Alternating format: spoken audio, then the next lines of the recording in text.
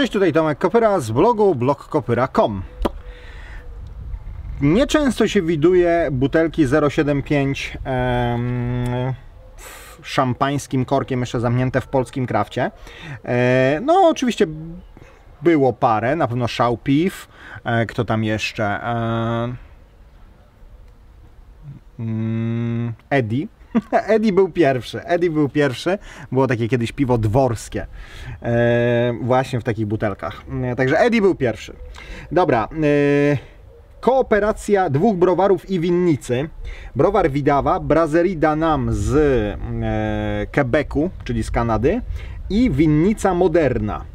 Le Polonais c'est un joc.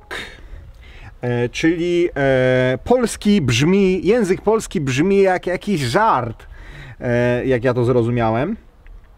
Piłem to piwo w, e, z, z Lane na e, wrocławskim festiwalu dobrego piwa i zrobiło na mnie bardzo dobre wrażenie.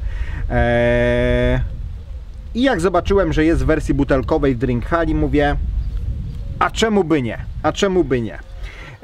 Także piwo jest zakupione, 46 zł kosztowało. E, nie mało, ale też na butelkę 0,75 to też nie jest jakaś ekstremalna kwota, to nie jest jakaś e, cena najwyższa w polskim krafcie. No, naj, e, najwyższe chyba ceny tutaj te około 60, nie, naj, najdroższe to są jopejskie, nie?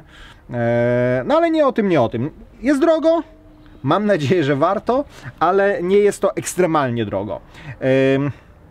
To jest piwo e, górnej fermentacji, e, jasne, e, z dodatkiem moszczu winnego i soku, no prawdopodobnie też z winogronami, chmiel drożdże i leżakowane w beczkach po winie Chardonnay, też chyba z tej winnicy, albo już w sumie to nie wiem, czy z tej winnicy, czy raczej z gdzieś tam z oferty Brew Service.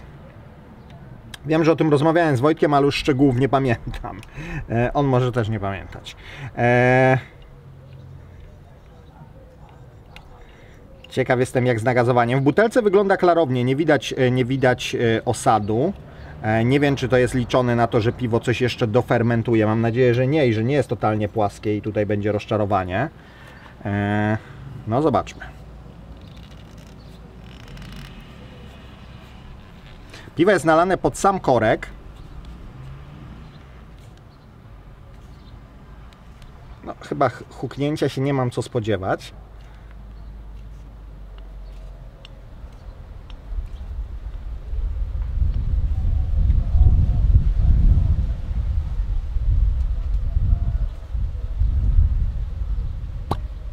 A. Pykło, pykło. Szkło, jakby się pytał, e, to jest e, szkło degustacyjne z browaru Castel e, belgijskiego. E, 0,3 dotąd. Myślę, że pół litra dałoby się wlać. Ach. Aromat wanilii z beczki po Chardonnay. Genialny.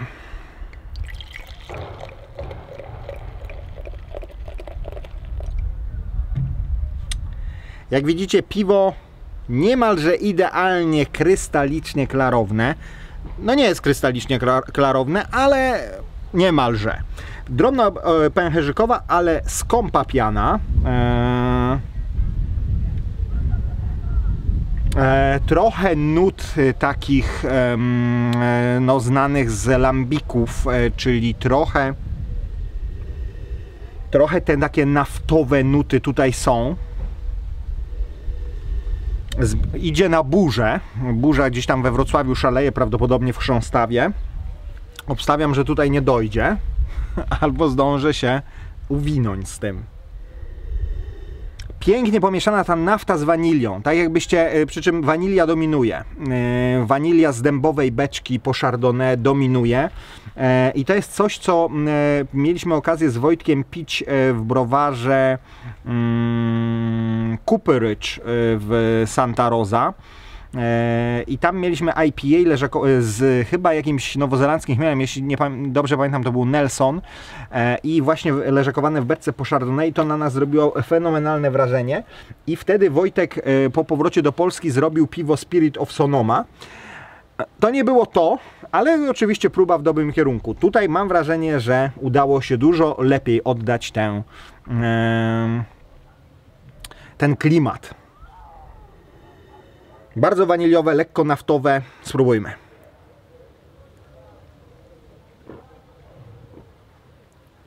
Mm. O panie. Ła. Słuchajcie, ja nie wiem jak to piwo będzie się zachowywało w tej butelce. Data jest do 13 grudnia 2019, 2019 roku. Znamienna. 13 grudnia roku pamiętnego. Więc e, data jest znamienna. Nie wiem, czy bym się odważył trzymać aż tak długo. I raczej bym radził Wam wypić teraz, bo jest genialne. Absolutny sztos. W ogóle mm, nie ma takiego innego, takiego drugiego piwa polskiego w Polsce. Nie ma drugiego tak mocno waniliowego, jasnego, jednocześnie z nutami takimi dzikich piw.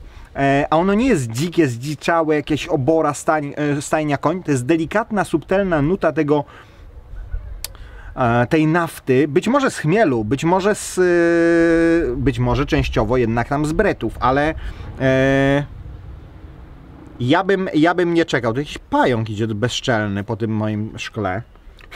Czerwony. To jest jakieś nawiązanie do tego, do tego 13 grudnia? Słuchajcie, e, genialne.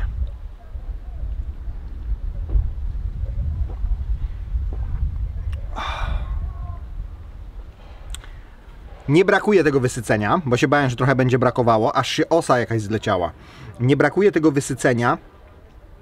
Idź mi stąd. Eee...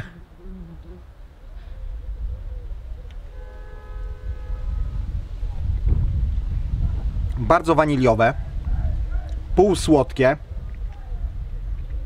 rześkie, goryczka średnio niska do niskiej. Troszkę tanin, e, mam wrażenie, troszkę jest takie mm, wysuszające, czyli prawdopodobnie jest dobrze odfermentowany. To jest 18, odfermentowany do 7,2, no to czyli, że jeszcze, no ono jest troszkę półsłodkie. Może półwytrawne. E, więc ym, jeszcze troszkę, jeżeli by dofermentowało, bo zakładam, że jest nie, nie, niepasteryzowane, niefiltrowane. Mm, niepasteryzowane, niefiltrowane, więc jeżeli jeszcze trochę dofermentuje, to i butelka wytrzyma i wszystko, ale czy na pewno? Nie wiem. I byłoby grzechem zmarnować takie piwo, które tak smakuje dzisiaj. Więc jeżeli gdzieś widzicie i macie chęć kupić, kupujcie i pijcie. Pijcie, bo normalnie żal. Eee, nie wiem, co tu jeszcze może się wydarzyć dobrego. No może troszeczkę zejść ta słodycz, chociaż ona tutaj bardzo dobrze gra z tą wanilią.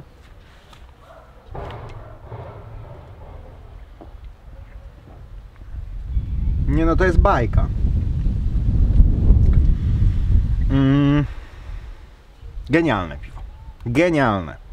Gratulacje mm, e, e, dla Wojtka, mm, bo to jest naprawdę, to jest klasa światowa. To jest klasa światowa. E, mówię, ja mam obawy, jak to piwo się zachowa na przykład we wrześniu. Czy, czy, przez całe lato gdzieś będzie stało. Jeżeli gdzieś widzicie, to powinno stać w lodówce. Jak kupicie, też trzymać w warunkach chłodniczych. E, bo naprawdę byłoby grzechem e, zepsuć to piwo, bo to jest coś po prostu pięknego.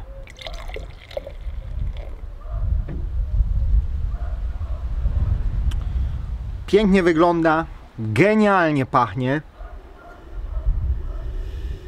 Jest trochę konia, jest trochę konia takiego wyszczotkowanego jest. Ale na pierwszym planie wanilia.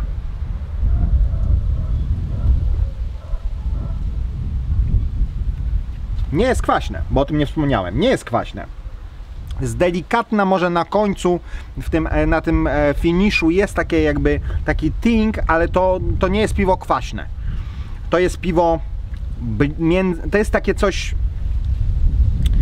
Belgian Blonde, ale bez belgijskich fenoli, czyli to ciało, e, ta tekstura, ta miękkość taka, ta taka lekka biszkoptowość, to jest, to jest blond.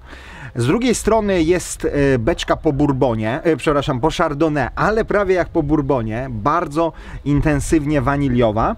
I do tego wszystkiego dochodzi jeszcze, mam wrażenie, taka trochę wyższa goryczka, trochę mi się to kojarzy z... mm, no nie, no z IPA nie, ale, ale z tym piwem, które w Cooper Ridge piliśmy, to jest go- goryczka na poziomie New Englandów. I ono jest też takie miękkie, jak New Englandy, a jednocześnie jest orzeźwiające, delikatnie musujące na podniebieniu na języku.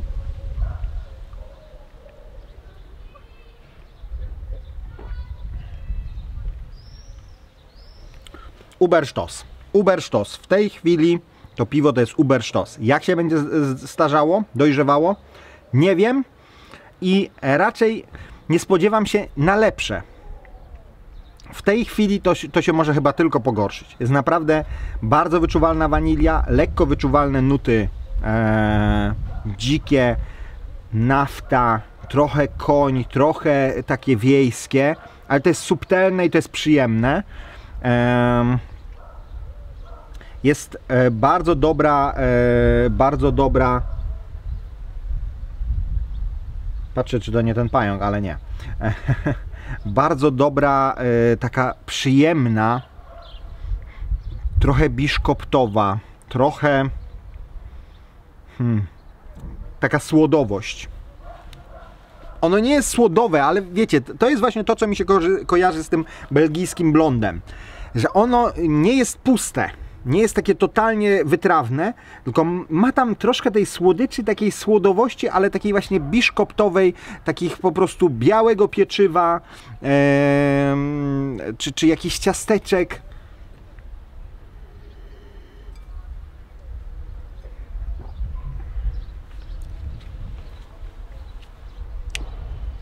absolutny sztos. Uber sztos, turbo sztos, nie wiem jak to nazwiemy. E, wart tej każdej złotówki. E, nie mam pytań. To jest po prostu top level światowy. E, gdyby, gdyby po prostu dało się takie piwa robić warka za warką, takie same, to po prostu Ra- Raidbury Untapped rozjebany. Tak myślę. Absolutnie genialne piwo. Fajna etykieta. eee, jak sądzę, autorstwa Wojtka. Eee, przydałby się do, do pełni szczęścia chyba tylko jeszcze jakiś taki lak na, na tym korku, e, żeby bardziej epicko wyglądał jakiś taki różowy, to już by mogło być po stówce. Żartuję oczywiście, ale naprawdę piwo genialne. Genialne. Wasze zdrowie, wasze zdrowie i o takie krafty walczymy. O takie krafty walczyłem. Eee... Nie mam pytań. Le Polonais Stun Joc. Eee... Sal... Nie, salut? Nie, jak jest po francusku? Eee... Chyba salut. Salut? Salut.